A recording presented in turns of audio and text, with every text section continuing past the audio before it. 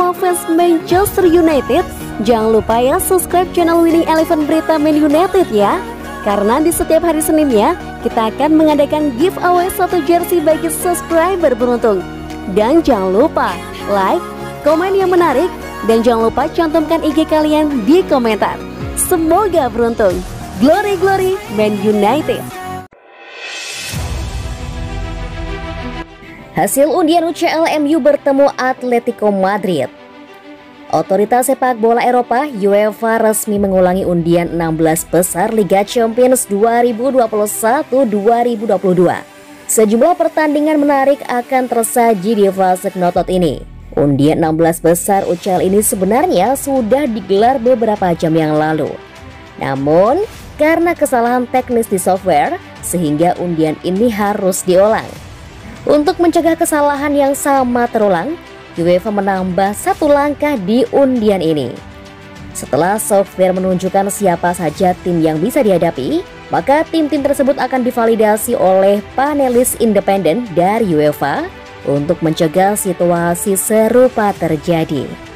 Undian ini masih dipandu oleh Sekretaris Deputi UEFA Giorgio Marchetti Sementara Andre Arsyafin juga akan membantu jalannya pengundian ini. Di undian ulang ini ada satu hasil yang sama dengan undian pertama. Laga itu adalah Chelsea kontra Lille. Inilah hasil undian 16 besar Liga Champions. FC Salzburg versus Bayern Munchen. Sporting Lisbon versus Manchester City. Benfica versus Ajax. Chelsea versus Lille. Atletico Madrid versus Manchester United. Villarreal versus Juventus, Inter Milan versus Liverpool, dan PSG versus Real Madrid.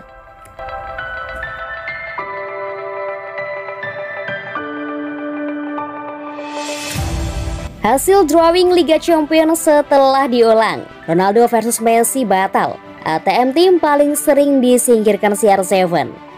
Hasil drawing atau undian 16 besar Liga Champions setelah diulang akibat masalah teknis menyajikan big match yakni PSG versus Real Madrid. Drawing 16 besar Liga Champions di La Dijon, Swiss pada Senin 13 Desember 2021 malam waktu Indonesia Barat. Di drawing pertama, PSG asuhan Mauricio Pochettino mendapatkan lawan Manchester United.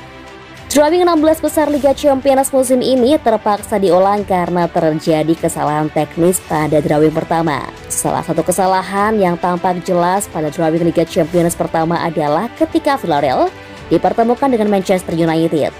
Undian itu tidak sah karena Villarreal sebelumnya bersaing di grup F. Duel yang dinanti pun batal antara sang rival abadi Ronaldo versus Messi. Ronaldo justru kembali bertemu sang rival Atletico Madrid ketika dirinya di Real Madrid. Ronaldo merupakan sosok yang paling ditakutkan Atletico Madrid karena pada saat dirinya di Real Madrid, dia berhasil menyingkirkan ATM di final dua kali, kemudian di semifinal dan di 16 besar saat di Juventus. Menarik kita tunggu apakah Ronaldo bisa kembali menjadi momok menakutkan bagi Atletico Madrid.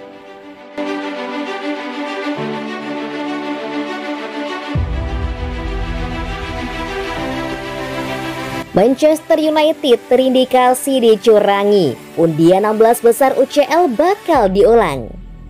Sebuah skandal menerpa UEFA pada saat undian 16 besar Liga Champions 2021-2022. MU terindikasi dicurangi di undian tersebut. Beberapa saat yang lalu, UEFA menggelar undian 16 besar Liga Champions di markas mereka di Nyon, Swiss. Undian ini untuk menentukan tim mana akan berjumpa tim mana di babak knockout nanti.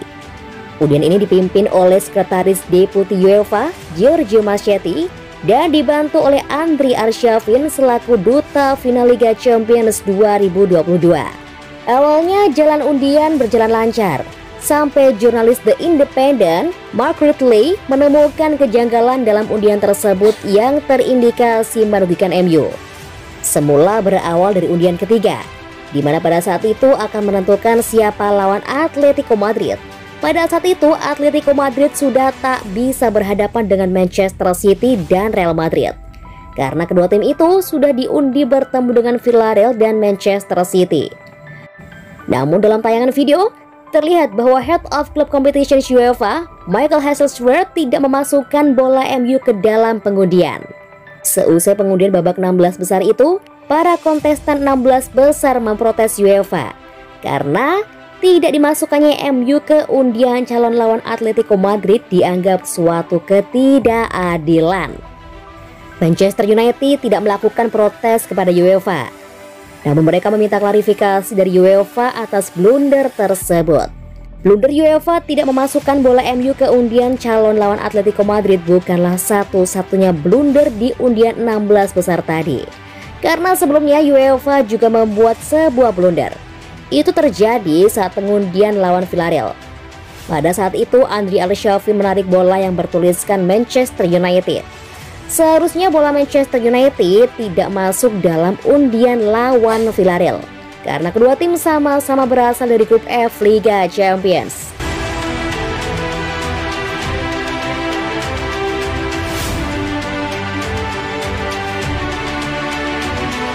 Edinson Cavani mengatakan Manchester United siap hadapi siapa pun di 16 besar UCL. Edinson Cavani membeberkan pendapatnya mengenai undian 16 besar UCL. MU memastikan diri sebagai salah satu dari 16 tim yang lolos ke 16 besar Liga Champions. Mereka keluar sebagai juara grup F dengan raihan 11 poin. Ketika ditanya siapa lawan yang ingin dihadapi, beginilah jawaban Cavani. Saya punya pendapat tersendiri mengenai siapa lawan yang ingin kami hadapi. Begitu juga dengan rekan-rekan saya. Menurutnya semua tim yang lolos ke 16 besar adalah tim yang kuat. Jadi MU harus siap menghadapi tim di mana pun. Saya percaya bahwa untuk memenangkan kompetisi ini, kami harus siap menghadapi tim-tim terbaik. Kadang-kadang Anda bertemu dengan tim ini dan terkadang Anda bertemu dengan tim lain. Cavani cukup optimis MU bisa melangkah jauh di kompetisi ini. Jadi, dia meminta para pemain setan merah untuk percaya diri dan mempersiapkan diri sebaik mungkin.